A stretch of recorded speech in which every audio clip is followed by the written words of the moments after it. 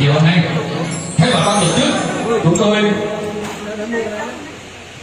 xin trân trọng với cái thời điểm mà đặc biệt vì uh, đây là một cuộc hồi ngộ của những người đã từng được từng đồng đội đã từng cùng vào chinh ra tử trên một chiến hào cách đây 45 năm. Và chứng và đến hôm nay chúng ta lại có một sự chứng kiến của các uh, các đồng chí ở trong đảng ủy hội đồng nhân dân ủy ban nhân dân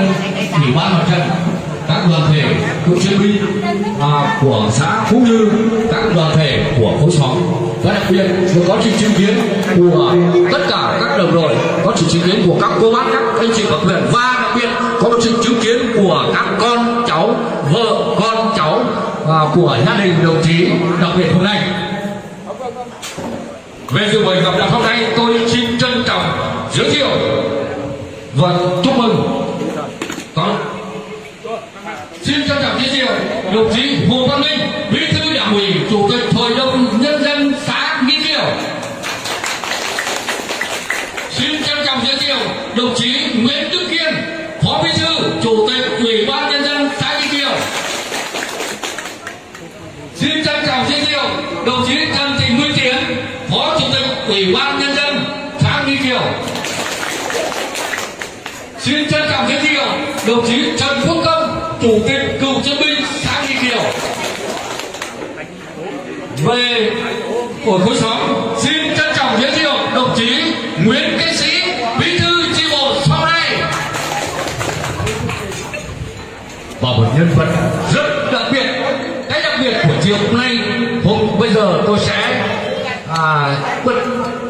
bật mời cho các đồng chí về đuổi.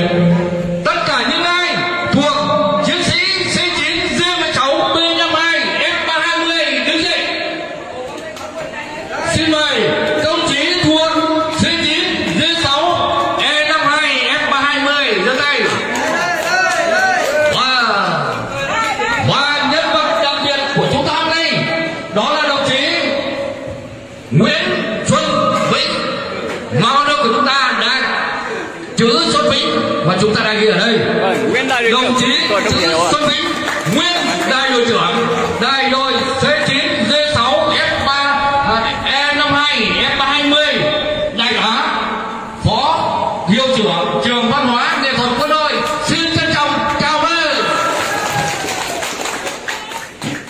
Và sau đây để chia sẻ những à, tâm tư những tình cảm mà của những cái lớp của chúng tôi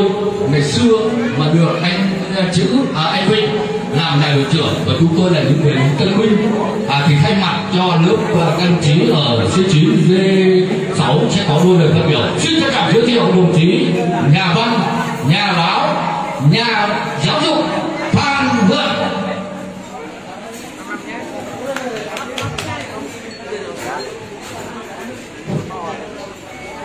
à, xin à, kính thưa quý vị đại biểu, kính thưa anh Vĩnh chị dâu và các cháu trong đại gia đình của anh Vĩnh thưa tất cả đồng đội và những người vợ yêu quý thưa tất cả các bạn, kỷ niệm 45 năm ngày nhập ngũ, anh chị không vào được hôm nay trên trên hành trình trở về của một chuyến du lịch phương Nam dài ngày. Anh chị và các cháu cần ghé thăm các em lính C9, D6, E52, F20 những người lính từng một thời sống và chiến đấu. Với anh trong vòng vây của kẻ thù quân Pot ở Lò Gò Tà Nốt, tỉnh Tây Ninh. Từ ngày 23 23 tháng 3 năm 1978 đến ngày 26 tháng 3 năm 1978 tức là 4 ngày chiến đấu trong vòng vây của kẻ thù quân Pot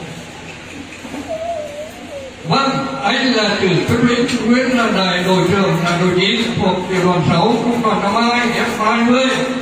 Người đại đội trưởng kiên cường các dốc đã cùng với đồng đội chiến đấu dũng cảm trên chốt triệt tiêu đồ mò Hà Nội, bảo vệ vững chắc biên cương của Tổ quốc thưa các đồng chí và các bạn trước trong đồng chí của tôi trước mặt đồng chí của tôi là đồng chí đại đội trưởng Chu Xuân Vinh nguyên đại trưởng đại đội trưởng của tiểu đồng sáu chí Đoàn Thi Đoàn một người đại đội trưởng chỉ trong chiến đấu rất dũng cảm mà hôm nay chúng tôi anh vào cùng chúng tôi và chúng tôi theo đoàn thứ hai là đồng chí Trần Đình Đồng quê ở Vĩnh Kiều thứ ba là đồng chí Lê Tiến Sĩ quê ở Vĩnh Kiều bốn là tôi, là Phan Công Vượng quê ở Kỳ Bản thay mặt anh em B3 C9 xin cảm ơn quý vị đại biểu, cảm ơn đồng đội, cảm ơn anh chị và các cháu đã dành chút thời gian quý báu, ghé thăm xứ nghề chia sẻ chung với với các em bữa cơm thân mật, uống chén rượu đồng giữa ngày hè nắng lửa. Xin cảm ơn đồng đội, quý Kiều đã tổ chức chú đáo buổi gặp mặt hôm nay rất tiếc trong cái buổi vui của chồng thế này là chiếu đi vợ chồng của anh, tu thức chí và anh em đã mời hôm nay là anh chị báo cáo cho các bạn, anh chị ngồi nhà và nói là đổ từ ờ, 7 giờ sáng đến chiều nay chứ không không vào được. Hôm nay thì ờ, anh em B3 C9